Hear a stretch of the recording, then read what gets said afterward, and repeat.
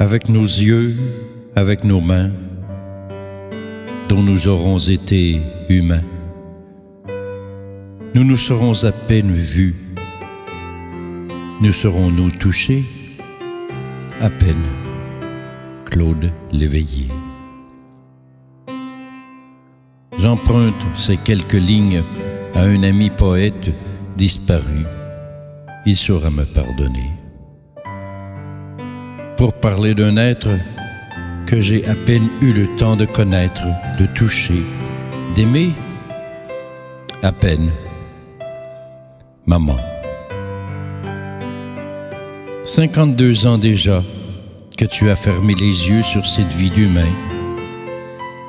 52 ans déjà que tu es parti dans l'océan infini de tes rêves, vers d'autres rêves peut-être plus cléments, plus réalisables que les nôtres. Limités sommes-nous sur ce plan de vie. À peine je t'ai connu, à peine je t'ai aimé, et voilà que tu nous as dit adieu. Quand tu es parti, à peine commençai-je à conjuguer le verbe aimer dans ce qu'il a de plus petit, de plus étroit.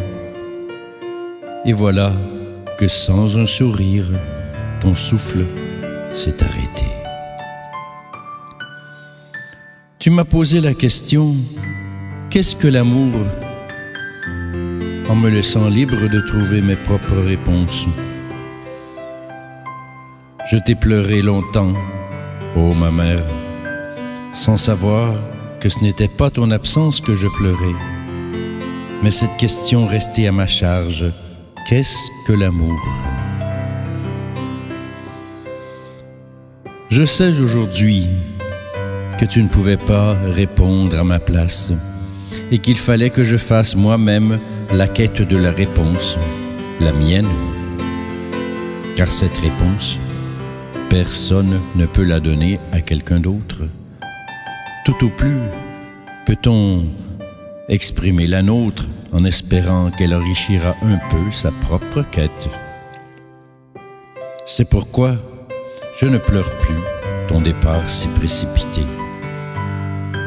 Il m'a permis de devenir celui que je suis merci.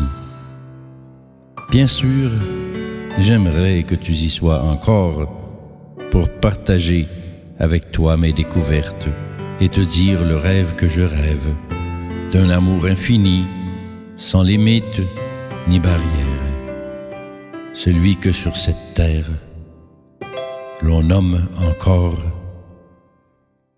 chimère.